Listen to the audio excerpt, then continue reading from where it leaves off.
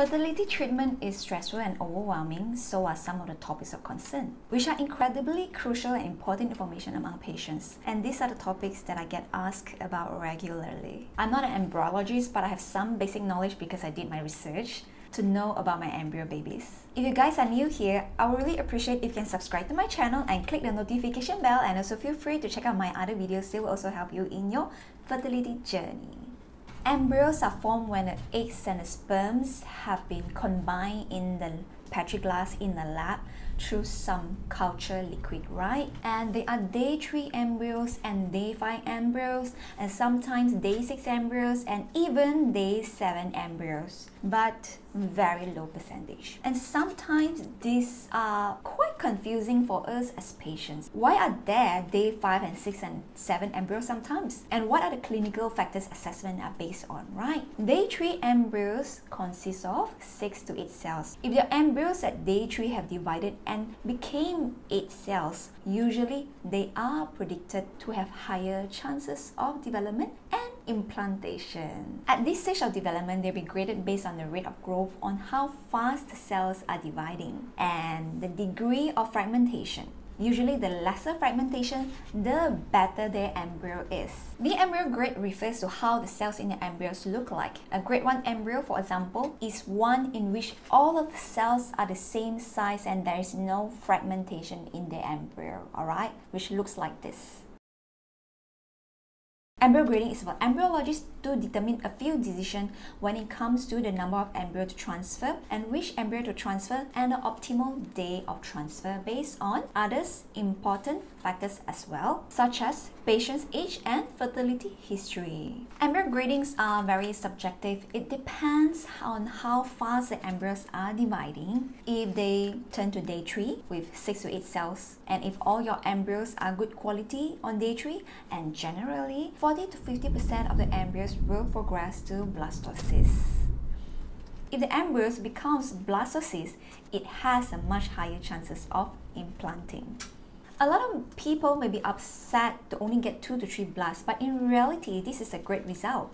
And people shouldn't be upset on what percentage of fertilized eggs that made it. Having a blastocyst embryos can mean fewer rounds of transfer cycle because you will have higher chances of conception. Day 5 blastocysts fare better than day 6 blastocysts. However, every embryo still has a fighting chance, still has the potential to lead to live birth. So if you have a day 6 or day 7 embryo, or regardless of a day 5 or day 3, you will make sure your physical health condition and your womb condition is excellent before you do that transfer. While we can make guesses whether the embryo has the potential, it's usually based on the experience of the embryologist grading experience in millions of embryos. There are many cases of embryos which are poor quality, poor grades that make pregnancy a success too, and totally perfect embryos that do not make it. So no matter the grading system, the embryo grades do not tell us fully of what is going on inside the embryo. Day 5 embryos are where they culture from day 3 and grow into blastocysts and are graded with a much more complicated degree of grading. Usually a day 5 blastocyst embryos have slightly higher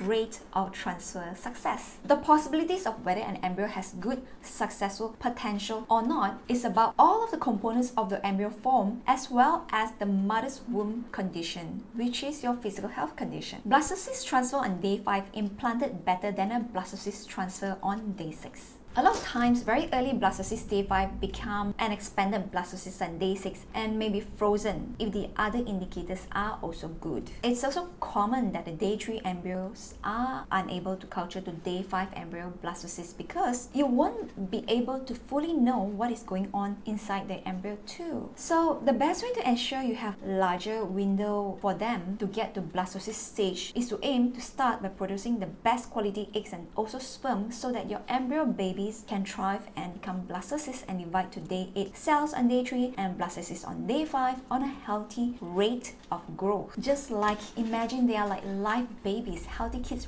running around. They have stronger fighting cells, because their immune system and physical health is good. That's how you should aim for. That tiny cells in your womb. I know it's so difficult, so, so, so difficult to imagine that tiny cells in your womb, but you need to think of the impact that you do today will affect them. Just like if they are here today, a live child, you are protecting them in your arms and you also give them your best. So you need to focus on giving them the best diet, the best environment for them to be healthy. It's all start from the tiny eggs itself with the tiny sperms that one day will combine and become beautiful embryos and turn into live birth and that healthy child that's running on the playground because they were once the vibrating cells in your body that you have cultivated. The future lies in your own hands and self-care is not selfish, it's your responsibility to your future. Now, these are just what I know. If you want to know more about embryo gradings, please check with your fertility clinics. If you find my videos are helpful to you and you like more videos like this, please click like, subscribe and hit the notification bell so that you'll be notified the next time when I upload new content.